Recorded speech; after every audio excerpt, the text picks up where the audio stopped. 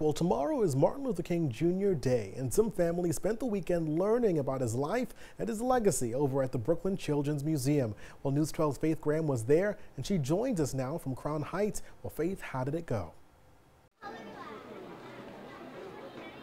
Well, Phil, it went great. These kids here are definitely going home with a lot of new knowledge on such an important person and part of our history. Now, the exhibit itself takes the form of a three-day festival, and it wraps up tomorrow.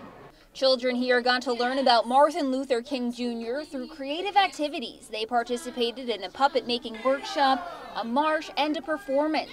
Performers say their goal was to teach them something new. It's important for me to think about how do I get the children to learn more about Dr. Martin Luther King beyond just I have a dream, but to make him a real person that was really fighting injustice in the world, and then to hopefully make them feel empowered to do the same thing. Like the performance, each activity taught them about MLK's life and the impact he had on history.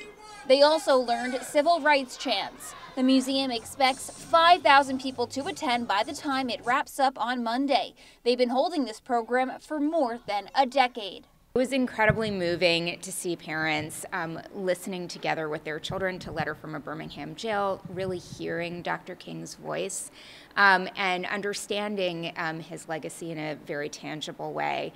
Um, it meant a lot to us clearly such an important event. And if this sounds like something you'd like to do with your family, the museum will be open tomorrow as well, offering similar programs to the ones that we saw today. To learn how to get tickets, just head on over to our website, news12.com, and visit numbers and links. In Crown Heights, Faith Graham, News 12.